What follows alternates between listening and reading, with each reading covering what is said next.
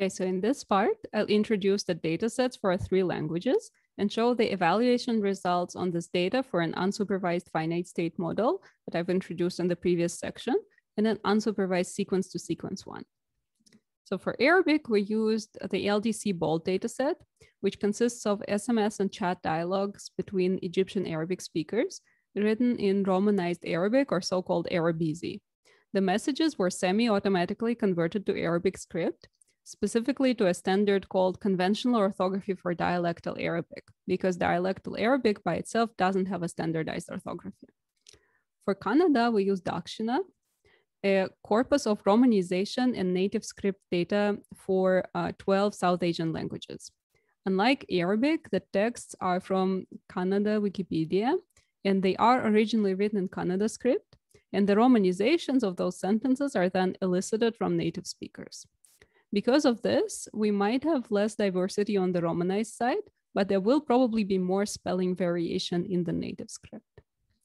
And finally, for Russian, we collect and partially annotate our own dataset. We scrape the Romanized text from a social network, vk.com. And for the native script side, we use a portion of the Taiga corpus, which is also scraped from the same platform. And although uh, these uh, two portions of the data are collected from the same website, the Taiga data seems to be mostly from political discussion groups. So the vocabulary of that part is very skewed compared to our collected Romanized data. So to collect this Romanized data, we use Romanizations of common words as queries, as uh, Darwish 2014 has done for Arabizi. I just took a list of most common Russian words and for each word generated all the Romanizations I could think of and then we use them as search queries. So that way we're using a, we're getting a diverse set of user preferences in our data. Uh, then I manually removed the sentences that weren't in Russian because the query romanization sometimes happen to be identical to words in other languages. This could, to some extent, be performed automatically using a language identification module. But I saw, for example, some results in uh, Romanized Ukrainian, and to filter those out, you really need a native speaker. Um, then the validation and test portions of the data were manually annotated by two native speakers. The training portion we didn't annotate because our approach is unsupervised. The annotators uh, remove all the foreign words and all the other words for which we, they don't have a, a standard uh, Cyrillic spelling in mind. And here we show this part in red. Then the annotators manually convert the rest of the sequence to Cyrillic and correct what they perceive as minor misspellings, like the hyphenation here in blue. And this is this kind of correction is kind of a sensitive matter. Uh, we are dealing with a creative phenomenon, so we would actually want to preserve the author intent as much as possible. It's just not clear when and how to do it. Like, how do you introduce an equivalent misspelling on the output side? Or um, how do you tell if this kind of spelling is intentional or if it's a typo that the author themselves would like you to correct? And of course the annotator is always limited by their own dialect. Uh, for example i was one of the principal annotators and very likely i couldn't recognize and preserve some dialectal variations in texts uh, that have been authored by people from other countries or other areas of russia and um, when I was describing the model, uh, all the time I was talking about characters. But in fact, we are working with Unicode code points. For Russian and even for Arabic, it's perfectly fine. But for South Asian languages like Kannada, there is this whole other set of challenges associated with Unicode, which is again why our formalism isn't language independent. So in Kannada script, many consonant characters carry a default vowel like ka carries an a. If you want to express a different vowel like u, you add a modifying diacritic that merges with ka. And if you want just the consonant without any vowel, you again add an, another diacritic called virama. All of those diacritics are separate Unicode symbols. Some of them correspond to vowels, some of them correspond to nothing, the base character stands either for a consonant or for a consonant vowel syllable, depending on whether it has diacritics. And uh, an example would be um, th this uh, name, Rajkumar, uh, it kind of looks like it has five or six characters if you look just at the Kannada sequence. Um, but in fact, it's made up of 11 Unicode symbols, one of which is non-printing, this zero width non-joiner, this weird block in the middle. Uh, it's there to prevent uh, the two separate roots merging together. It also commonly appears in foreign words, of which there is a lot in Wikipedia. And um, again, we are treating it as a separate symbol. Another problem is that there's more than one way to represent some characters. For example, this table comes from the Unicode standard documentation, and it shows that you can get visually identical result by either using a single character or by combining two parts. So the takeaway here is that linguistic typology matters uh, in more ways that you would expect, even for seemingly technical aspects of our work. So now let's see some results. This graph uh, shows character error rate, so lower is better. The FST without an informative prior doesn't do particularly well. But with the visual prior, we see a lot of improvement for Russian. For Arabic, we don't have a visual prior because, as I said, there weren't enough mappings in the Unicode confusables list. Uh, a phonetic prior is even better than the visual one, um, which uh, aligns with our observation that people generally prefer phonetic substitutions to visual ones. And uh, combining the phonetic and the visual mappings in one prior gives the best result. So now if we look at the performance of the supervised version of the same model that we've actually trained on some amount of parallel data, we can see that our uh, model with the combined prior actually came pretty close. So the informative priors, this inductive bias can actually help close this gap between supervision and no supervision. And we also compare to two handcrafted decoders available online. They're actually doing a little bit better than our supervised model. So now let's look at what kind of errors the FST model makes. They are mostly character level noise, and they are usually caused by uh, failure to disambiguate between two plausible predictions. Uh, so these graphs uh, here visualize fragments of confusion matrices for Arabic and for Russian. And uh, here's an example of the WFST converting a character based on visual similarity when the author was actually using a phonetic substitution. Uh, another type of error is inability to handle digraphs. Like here, instead of uh, decoding SH into one character, decodes S and H separately. This is also probably due to a weak Ngram language model because we'd expect the language model to downweight the unlikely native script bigrams. And some confusion, as we expected, is caused by the noise in priors. Like here, the model incorrectly deciphers Latin X as the Russian soft sign, Russian soft sign indicates palatalization. And um, this is happening because uh, X and soft sign were randomly mapped to the same key in one of the phonetic keyboard layouts, although there isn't any phonetic correspondence between them. But we did bias our model towards learning this mapping, uh, so now it's trying to apply it here. So now we've seen both the good and the bad sides of the final finite state model. It is structured, which makes it easy to encode constraints and the information about the underlying process. And also it's easier to interpret its predictions. Uh, they can also learn from relatively small data and perform exact maximization. But both training and inference take a lot of time with FSTs. And as I mentioned, the Ngram character language model is weak.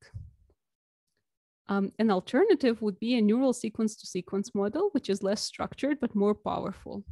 And the name sequence to sequence usually implies supervised, like you're training it, training it on parallel sequences. But here we're going to use this term to refer to an unsupervised neural model. So an RNN language model would be stronger. We could also perform inference much faster, but compared to an FST, it needs more training data and also it can't do exact maximization, so it's prone to search errors. Um, we're going to compare their performance on the decipherment task. And I wanted to again emphasize that we're training them both without supervision.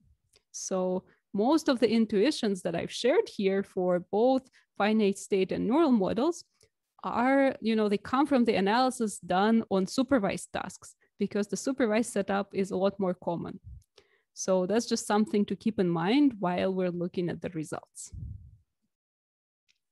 But before we get to that, let me introduce our sequence to sequence approach. So it is unsupervised neural machine translation, or UNMT, introduced by Lample et al. And it maps both the source and the target sequences to a latent space. And it is trained to denoise and reconstruct sentences in the same domain, perform a back translation by going through the latent space, and uh, to distinguish uh, between sentences from different domains. We are using the probabilistic formulation of the same approach introduced by Junxian He and colleagues, where uh, the representation of the sentence in another domain is actually treated as a latent variable that the observed text is conditioned on. Uh, so here it's shown as translating between two domains, in our case, one domain is Romanized text and the other domain is native script text. Um, because the strength of these two models are so complementary, we are also going to explore some model combinations. The easiest way to combine two separate models is re-ranking, where one model generates its top K list of most likely candidates, and then the other model scores them and chooses the best one. Our second approach is product of X experts, which is a, a little bit more complicated. It's a joint decoding strategy where we perform beam search on the um, finite state lattice, and each possible next symbol is reweighted by its probability under the sequence to sequence model at the corresponding time step. Transitions that correspond to deletions, uh, so arcs that output epsilon, are not reweighted because they don't correspond to anything on the seq to seq side. Like the neural model is just not aware that any transition happened. So because of those deletions, we can't group hypotheses uh, on the beam by their length as we would usually do. So instead, we group them by length of the input sequence, uh, the portion of the input sequence that has been consumed so far. And we train the models separately and combine them at test time. Uh, so let's come back to the results.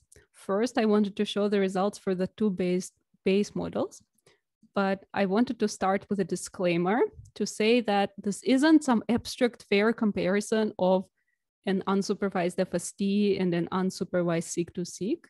Uh, these are trained on different amounts of data because the FST was too slow to train on all available data. And the seq to seq just didn't work if we trained it on just the part of the data that the FST was using. So we're doing this experiment not to make any general conclusions about the two model classes. We're just trying to see how these separately trained models can be used and combined. So this graph uh, shows character error rate, so lower is better. And on character level, the FSTs are doing better for all three languages, again, despite having less training data. This is the character error rate for the model combinations. They have different level of effectiveness, but mostly they're just kind of in between the scores of the two base models. So instead of uh, bringing together the strengths to cover their weak spots, uh, they just kind of interpolate between the behaviors of the two base models. And re-ranked FST actually performs uh, a tiny bit better than the base FST, and product of experts also helps a little in one case. Here we're showing word error rate, so lower is better again, but uh, we have the opposite picture. Unsupervised sequence to sequence model is better than FST on word level, except for Kannada for some reason. Model combinations, again, are scoring mostly in between, and again, re-ranking either helps a little or at least doesn't make it worse. And uh, finally, another word level metric BLEU. Here, higher is better. Again, uh, the observations here are similar to what we saw for word error rate. Uh, unsupervised sequence to sequence models are doing better on word level for Russian and Arabic, but not for Kannada. And again, re-ranking uh, occasionally helps a little bit. Um, so now I wanted to share some comparative error analysis. I'm going to use Russian as uh, the illustrative language here because I can actually read it, unlike the other two languages. That's also a problem of working with a variety of scripts. Um, so we've seen quantitatively for Russian that uh, the FST is doing better on character level and the seq to seq is doing better on word level. So here's what it looks like in the actual outputs. I'm showing both the Cyrillic outputs uh, on the left and their scientific transliterations on the right for those who don't read Cyrillic. So the FST typically predicts the right words, but uh, almost always with some character level corruption. Like you can see, there's a little bit of red here in almost every word. The seq-to-seq, uh, the unsupervised neural model, is uh, good at reconstructing entire words, but then it just gets derailed into hallucinating entirely unrelated words until it finally comes back on track. And uh, re-ranking the seq-to-seq with the WFST actually got rid of the hallucination in this case. Um, and the parts uh, that this one gets wrong, the parts highlighted in yellow, aren't exactly errors. They are discrepancies with the gold annotations that were introduced by the manual correction in the process of annotation. So uh, the re-ranked sequence to sequence model is actually faithfully rendering the input. It's just getting penalized for not performing spelling and grammar correction at the same time. Um, so I wanted to share some uh, high level takeaways now. And uh, the first one is that uh, model combinations still suffer from search issues. We know that sequence to sequence model have search issues like they delete or hallucinate words, they produce repetitions or empty outputs.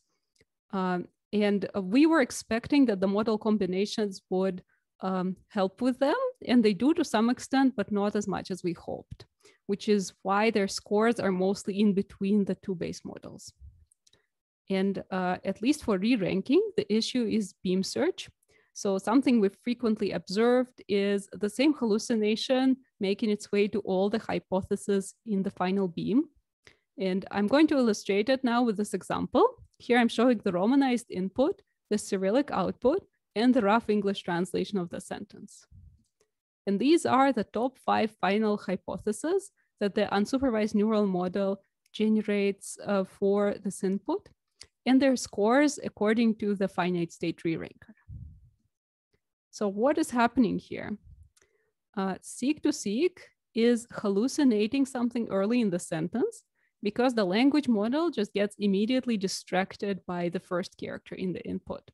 So instead of the word this, which is the correct prediction, it predicts United Russia, a name of a political party, which has absolutely nothing to do with the rest of the sentence. Uh, and then it comes back on track and predicts the rest correctly for as long as we let it go on. But it's just not good enough. The re-ranker can no longer help with anything here because the hallucination is just too far off. So we either need a much larger beam size for this or a diversity promoting search mechanism. So how did the word this become United Russia? Um, Remember that our Cyrillic data comes from political discussion groups. So names of the political parties and politicians are disproportionately common on the native script side. Uh, the sequence to sequence language model gets distracted by the first character of the Romanized sequence. And if you look uh, at the Cyrillic here, the um, on the Cyrillic side, the first characters of uh, the gold and the predicted um, outputs are actually uh, different. So it just um, looks at the first character of the input and just goes on to predict what it memorized. And here's another example of the same. Uh, here, instead of the extremely common word life, the seq to seq predicts a politician's name. Again, not even getting the first Cyrillic character right. And if we extract word level edit operations required to transform the ground truth into the prediction, then 25% um, of the most frequent word level substitutions are of this kind, where the predicted word is a political one. And that's compared to merely 3% for the FST. That's notable because the neural model is actually better at not predicting out of vocabulary words than the FST is. It's just sensitive to domain mismatch. And the last point I wanted to make here is that the FST errors are more repetitive. For example, here I'm showing the most populated fragments of the character 11 confusion matrices for the two base models you can see that the left one, corresponding to the unsupervised FST, is notably sparser. If we look more closely at this row here, well, you can see that um, instead of the letter ya, uh, the FST most often predicts a, uh, and uh, the other substitutions are relatively rare compared to that. But um, for the seq to seq, the distribution of errors for ya is much closer to uniform, um, although the errors uh, involving prediction of relevant characters uh, are a little bit more likely than the rest, it's not by that much. Um, so um, it's not, uh, the errors are less repetitive for the sequence to sequence model. So that suggests that the FST errors might be easier to correct with some kind of rule-based post-processing. And this is the end of part three. And in the final part, I'm going to discuss the possible directions for future work and share some final thoughts.